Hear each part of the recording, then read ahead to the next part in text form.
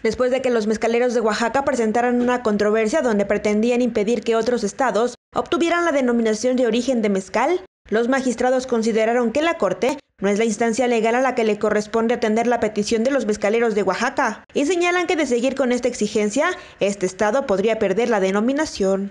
Cabe mencionar que Puebla cuenta con este nombramiento por las zonas en el estado donde se produce esta bebida tradicional. Sin embargo, algunos productores han denunciado la escasez del maguey.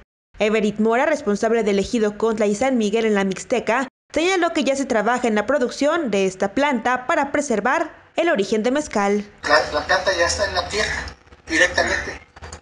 El, espacio para su crecimiento, para la producción de raíz y la producción de la hoja es mucho mayor. Entonces, tenemos una, producción de, de con las características que se requieren para llevar al terreno, para tener una mejor mejor desarrollo de la planta, que, que, que sepamos que finalmente nos va a dar una mejor sobrevivencia si tú, si tú te digas ahorita está bajo las condiciones que la va a tener toda la vida.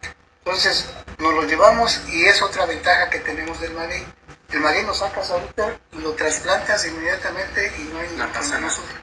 O bien lo sacas, lo dejas orear, podas la raíz y lo plantas en ocho días y mira, se va bien.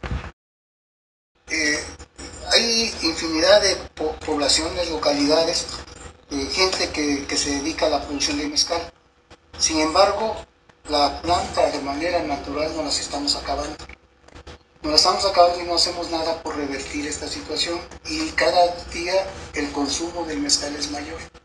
Entonces, toda esta planta pudiera ser para abastecer programas de plantaciones comerciales y de tal manera que aquellas localidades, aquella población, aquella gente que se dedica a la producción de mezcal, pues tenga, tenga la materia prima suficiente para poder abastecer la, industria que, va en auge.